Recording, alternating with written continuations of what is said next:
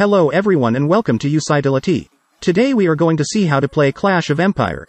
Empire Age on PC using the brand new BlueStacks 5, that is designed for blazing fast speed and high octane action.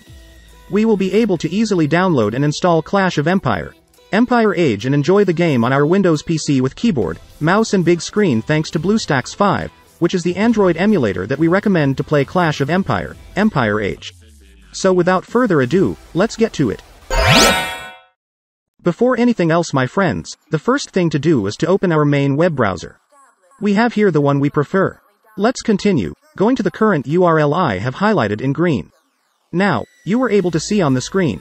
You don't need to type it, because I provided a link in the video description and as well in the first pinned comment. We ended up at this point on the internet site of Usitility, exactly where we find here in-depth description on how you can download Clash of Empire, Empire Age on computer. We search lower a little bit and press on the Download Game on PC button. After we click on that link, we arrive here on the site of BlueStacks, which the Android emulator that we are going to use to enjoy the game Clash of Empire, Empire Age on PC. It is now obvious that we have a number of advantages of running this emulator. So we are on the way to start downloading the Clash of Empire, Empire Age by simply clicking on the button play on BlueStacks that I have marked in green. We then click on it. Of course, the download takes no time at all. Voila, this is the download. It is an executable file. What we have to do now is to run the executable file, so we click on the file. Windows 10 users will be asked for permission to allow modifications to the system. We said yes. I minimize the web browser to find the installation software significantly better. The installation software is very simple to use. It contains two choices, install and setup path. I will clarify what setup path does. We basically click on it, and then we realize that we end up with here the path where in fact the emulator is going to be set up. If we need to change this directory we need to click on the Browse button, and we select another directory and set up the emulator exactly where we want. I am going to keep it as it is. I simply click back, and therefore I just click on Install. Great. The install begins and it's going to move forward in the download of these megabytes that are shown on that screen. When you save it on your hard disk, it could be a bit more or less megabytes. The download speed might go at a higher speed or slower, subject to your type of access to the web and depending on the speed of the emulator hosting servers. Right now they are progressing rather fast. The download is finished, and now it proceeds with the installation phase. With BlueStacks 5 you can even reduce RAM usage with a single click. Especially useful if you ever face performance-related problems. In addition, you can activate Eco Mode to enjoy 87% reduced CPU usage, 97% reduced GPU usage and easier multitasking. As you can see, BlueStacks 5 is built to provide stability and performance during long gaming sessions. The installation has already finished for me. At this time, the emulator has actually been started immediately. As you can see now, at the bottom of the screen, there's a progress bar which will fill up and once it actually reaches the end, the emulator is going to be launched for the first time. Believe it or not the emulator is already started, here for the first time. Before we continue on, as can be seen, it has made two software icons there on the PC desktop. The BlueStacks and BlueStacks multi-instance. Note that the BlueStacks icon will be the one we are considering. Whenever we choose to operate Clash of Empire, Empire Age on the PC, we double-click on this specific software icon and consequently run the emulator. The BlueStacks multi-instance icon allows you to launch multiple emulator instances. And with BlueStacks 5's new improved multi-instance manager in eco mode, players can run more game instances faster and with less lag. Let me make the following step, which is actually a requirement, and this is to entry the Google Play Store. And we'll mouse click on Play Store. As can be seen the Google Play is presented. Right here we must sign in. Currently the moment we're right here, we are required to execute the next step which is obligatory. Therefore we simply click on Sign In. At present it announces Checking Info. It could in some cases get blocked in Checking Info, that's why it doesn't move forward. In that case, you should attempt to connect to your account after a couple of hours it's going to most certainly be fixed. At present we can insert our login name and password. The email address has to be a Gmail email and its related password. For example you may use the same email you are using at the moment in your YouTube account. So I am going to type my information and I'll go back when I have done it. Voila, information typed in. Below is Google welcoming us and providing us their terms of service.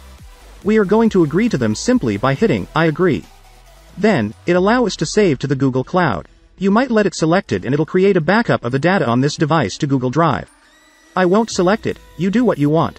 We simply click on accept. The Google Play Store is started automatically and immediately. To set up the application, we have to go to the emulator desktop by clicking this icon marked in green. At this point that we are exploring the desktop of this Android emulator, we observe that we find here the install game button. We just click on the button. On this page we come with the game app. Let's quickly press now on the install option that I'm displaying now in green. This action will launch the software installation. At this time it should download on your laptop or computer and install the game. It usually takes some time or it could possibly be very fast. This all relies upon on the web connection. It has actually completed installing. It's time to go back to the emulator desktop by simply clicking this particular option that I'm emphasizing in green, to be able to launch Clash of Empire, Empire Age for the first time. I am presently on the emulator desktop, and therefore we are about to just click this new Clash of Empire, Empire Age icon that's been created. That Android game is started for the very first time. Currently there we end up with it, I'm able to click anywhere on the screen and also make use of the keyboard. I am going to talk about the volume level of this emulator.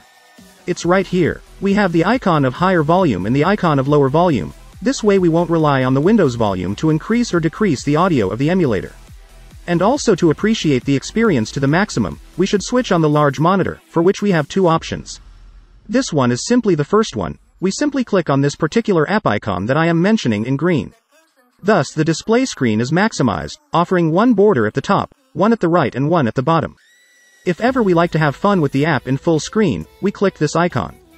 And as a result we would probably at present be experiencing the video game in 100% screen mode.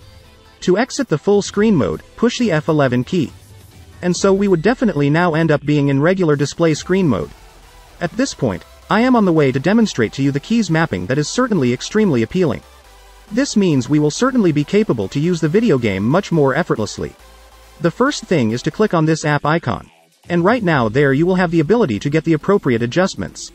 I'll go ahead and keep the default configuration, but if you prefer to modify it, you can also achieve it with no problem. Clearly, the emulator is fully in our own language. Occasionally it happens that your emulator is launched in the wrong language, as an example, in Chinese language. And as a result to set it up in the proper language we browse here to the cogwheel. So right here inside of various other configurations, we just click the language drop down.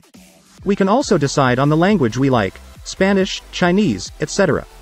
Once the language is selected, we should save, the emulator will restart, and the video game, next time we run it, will of course be in the opted for language.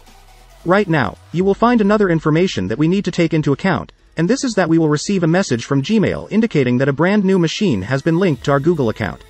It is going to ask us if we're the ones who have connected that device. Absolutely, we must not be troubled, simply because the emulator is simulating an Android smartphone or tablet. And in order to determine which smartphone or tablet is currently being emulated, we return right here, to the cogwheel and we simply click on it.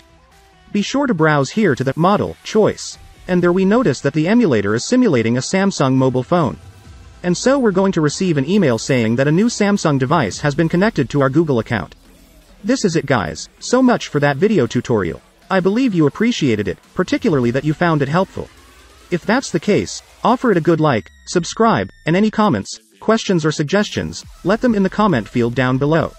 You could even leave a remark on my Twitch channel, I do live streams occasionally, you get it down below in the video description and in the initial pinned comment.